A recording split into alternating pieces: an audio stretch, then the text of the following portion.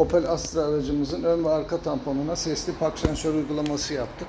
Ee, plaka yanına siyah, bir de hemen bu sinyalin yanına koyduk. Müşterimiz boyalı yere istemedi. Gayet de güzel oldu. Yine arka sensör de aynı şekilde orijinal olarak zaten tamponun altındadır arka sensörler. Hemen tamponun altına kendi orijinal yerlerine birebir yerlerine adapte ettim. Mat siyah olarak elimizde bu sensörlerden muhtelif renklerde vardır. Araştırabilir. Ön sensörümüz sıkışık trafikte, yağışlı havalarda falan kapatma ihtiyacı olacaktır. Dolayısıyla buraya bir düğme koyduk hemen direksiyon bakaretine. Aracın görseline zarar vermemek anlamında.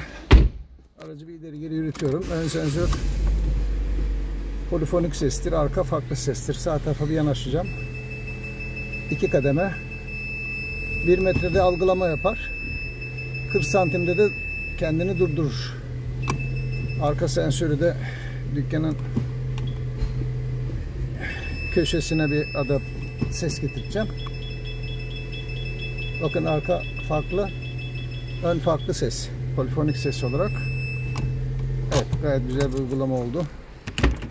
Opel Astra aracımızın ön ve arka tamponuna sesli park sensör uygulaması yaptık. İş yerimizde bu uygulamaların montajlı satışını yapıyoruz. Video altındaki iletişim bilgilerinden bizimle bağlantı kurabilirsiniz.